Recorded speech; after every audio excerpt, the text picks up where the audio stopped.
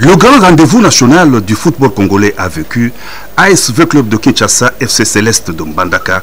C'est l'affiche de la finale de la Coupe du Congo qui s'est jouée ce samedi 15 juin au stade de Martyr. Très investi dans la promotion de la jeunesse et du football de la RDC, le président de la République Félix-Antoine Tshisekedi Chilombo est venu encourager les deux équipes finalistes et féliciter le vainqueur de cette grande compétition nationale.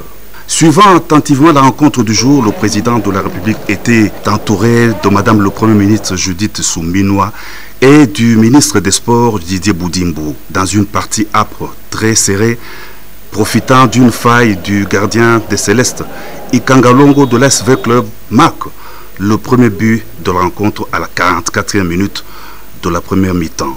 Le marquoir indique un but à zéro en faveur des Verts et Noirs. Ce score est demeuré inchangé jusqu'à la fin du match.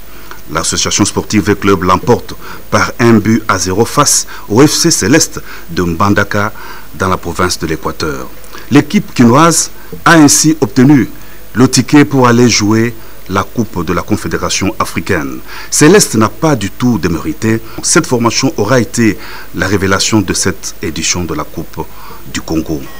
Tout est bien qui finit bien L'ASV Club a été sacré championne de la Coupe du Congo. Le président Félix Tshisekedi descend de la tribune. Il va féliciter de vive les joueurs de deux équipes à qui il remet des médailles.